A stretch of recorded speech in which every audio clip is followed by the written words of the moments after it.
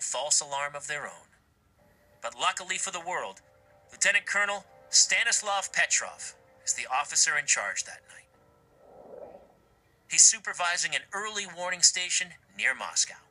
Near midnight, all is quiet, but Petrov knows that the Cold War tensions are running high. In 1983, the Soviet leaders genuinely had some belief that Ronald Reagan, the American president, was a warmonger who was itching to launch an attack on the Soviet Union. Suddenly, the station receives a signal from a Soviet defense satellite. Five American Minutemen missiles are airborne, racing toward the Soviet Union. Protocol dictates that Petrov immediately contact the Kremlin, but he hesitates. Petrov suspected that maybe this attack wasn't real. He didn't believe the United States would be attacking the Soviet Union with just five nuclear missiles. Consulting the base's technicians, Petrov learns that no other sensors detect any incoming missiles. He fears that if he alerts his paranoid superiors, they'll launch a nuclear counterstrike in response to an attack that may not be fact, but fiction.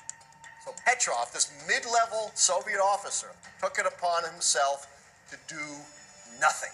He didn't call the Kremlin. If Petrov is wrong, he's just doomed his country.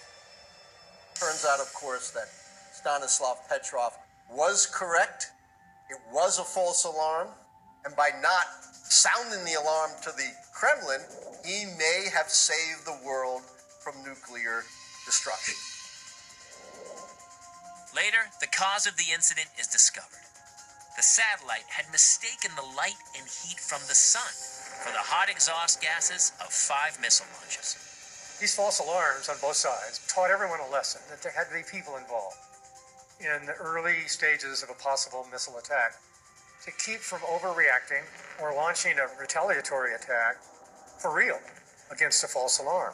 The two leadership groups began to talk to each other. CIA and the KGB set up a private channel where they could exchange notes and say, hey, we're not doing this. This is a drill. And it worked. But the day to day business of preparedness in the nuclear age is a tall order.